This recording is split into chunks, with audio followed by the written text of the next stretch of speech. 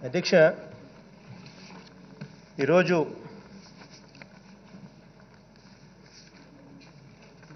Government బళ్ళల్లో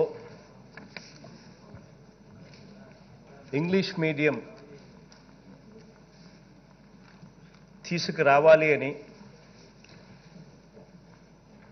ఎస్సీలు ఎస్టీలు బీసీలు మైనారిటీలు పేదవాళ్ళ అధ్యక్ష అగ్రవర్ణాల్లో ఉన్న పేదలు కూడా వీళ్ళంతా కూడా అధ్యక్ష ప్రైవేట్ స్కూళ్ళకు వేలకు వేల రూపాయలు పెట్టించి పెట్టలేక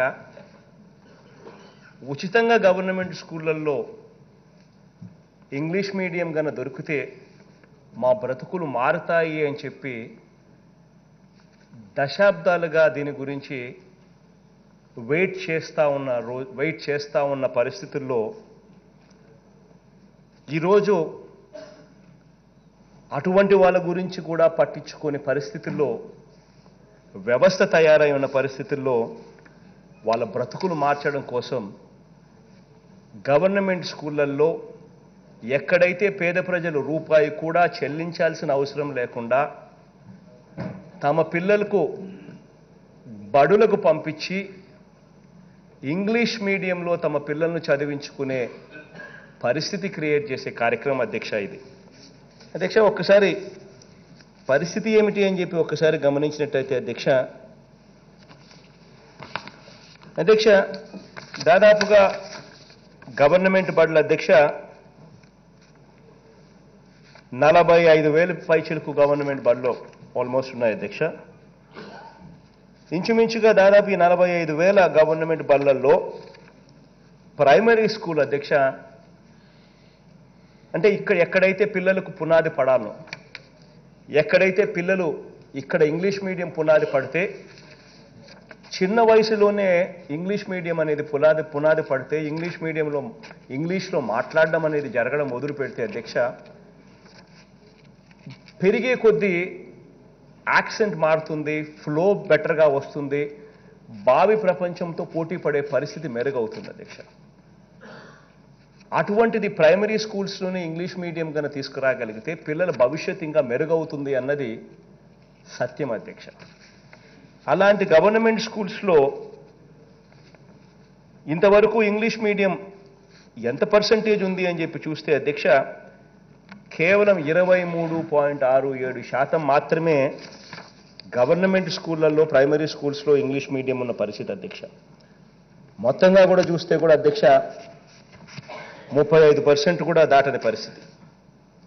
అదే ప్రైవేట్ స్కూల్స్లో అధ్యక్ష గమనించినట్లయితే నైంటీ ఎయిట్ అంటే తొంభై ఎనిమిది పాయింట్ ఐదు శాతం పిల్లలు ఇంగ్లీష్ మీడియంలోనే ప్రైవేట్ స్కూల్స్లో చదువుతూ ఉన్న పరిస్థితులు.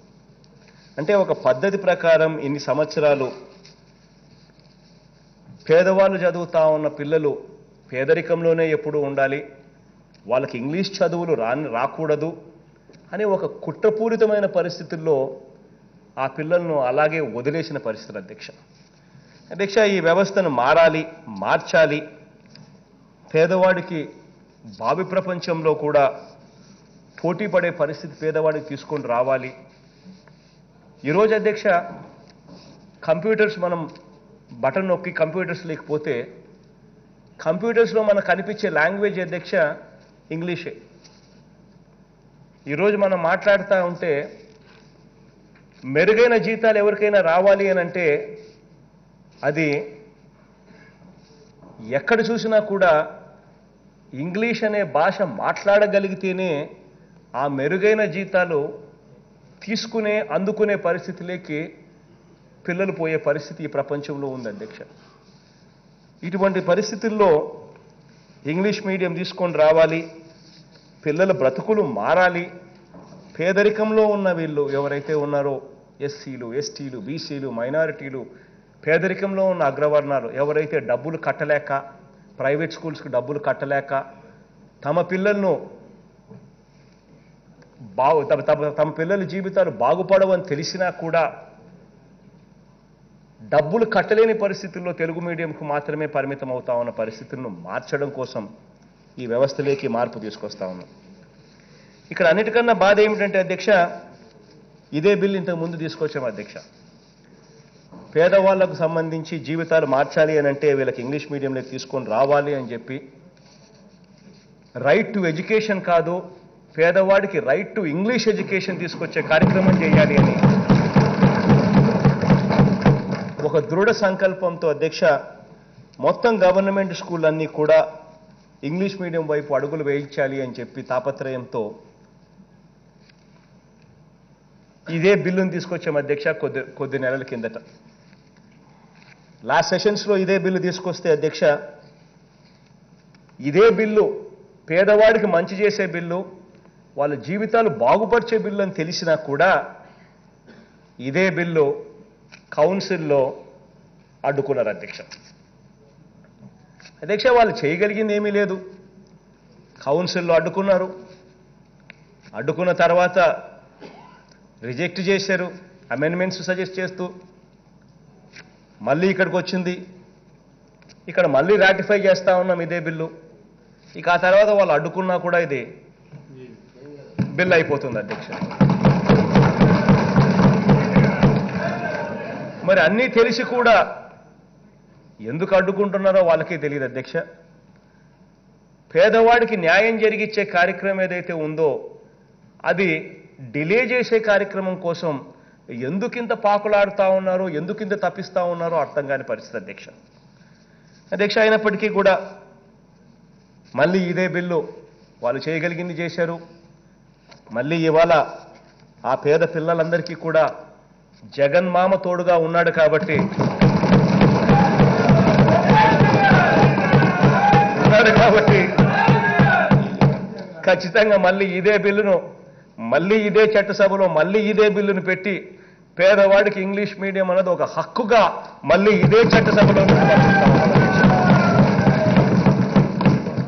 అధ్యక్ష ఇక అమ్మఒడి గురించి ఇంగ్లీష్ మీడియం చదువుల గురించి నాడు నేడు అన్న పేరుతో గవర్నమెంట్ స్కూళ్ళు రూపురేఖలు మార్చే పరిస్థితి గురించి చివరికి చిన్నపిల్లలు తినే మధ్యాహ్న భోజనం పథకానికి కూడా మార్పులు చేసి ఒక మెన్యూ అంటూ తయారు చేసి సోమవారం ఏముండాలి మంగళవారం ఏముండాలి బుధవారం ఏముండాలి గురువారం ఏముండాలి శుక్రవారం ఏముండాలి శనివారం ఏముండాలి అని చెప్పి ఒక మెనూ తయారు చేసి దానికి గోరుముద్ద అని చెప్పి పేరు పెట్టి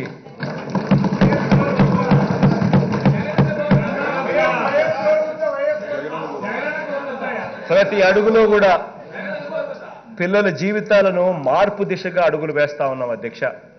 ఈ మార్పు దిశగా అడుగులు వేసే కార్యక్రమంలో భాగంగా పిల్లలు రేపొద్దున జూన్ పన్నెండో తారీఖున బడులు తెలిసే టయానికి జూన్ ఒకటో తారీఖునే ఆ పిల్లలందరికీ కూడా స్కూల్ బ్యాగులు నోట్ బుక్కులు టెక్స్ట్ బుక్కులు మూడు జతల యూనిఫాములు బూట్లు సాక్సులు బెల్టులు పెట్టి ఒక కిట్టు కూడా ఇచ్చి దాదాపుగా ఒక్కొక్క పిల్లాడి మీద పదమూడు వందల యాభై ఐదు రూపాయలు కేటాయింపు చేస్తూ దాదాపుగా ముప్పై ఆరు లక్షల పదివేల మంది పిల్లలకు ఇది కూడా విద్యా కానుక కింద జూన్ ఒకటో తారీఖు నుంచి కూడా ఈ కార్యక్రమానికి శ్రీకారం చుడతా ఉన్నాం అధ్యక్ష. దాదాపుగా నాలుగు వందల ఎనభై ఏడు కోట్ల రూపాయలు దీనికోసం ఖర్చు అయినా కూడా పర్వాలేదు. ఆ పిల్లలకు ఆ బ ఆ బరువు కూడా ఆ పిల్లల మీద పడకూడదు ఆ తల్లిదండ్రుల మీద బరువు బరువు పడకూడదు. వాళ్ళ జీవితాలలో ఇంకా మార్పు రావాలి అని చెప్పి అడుగులు వేస్తా ఉన్నాం అధ్యక్ష. ఇవన్నీ కూడా దేవుడి దయతో ప్రజలందరి చల్లని దీవెనతో ఇవన్నీ చేయగలుగుతా ఉన్నాం అధ్యక్ష. ఇటువంటివి ఇంకా గొప్ప కార్యక్రమాలు చేసే అవకాశం దేవుడు ఇవ్వాలని మీ అందరి ఆశీస్సులు కూడా ఉండాలని ఈ బిల్లుకు సంపూర్ణంగా మద్దతు తెలపాలని అందరికీ కూడా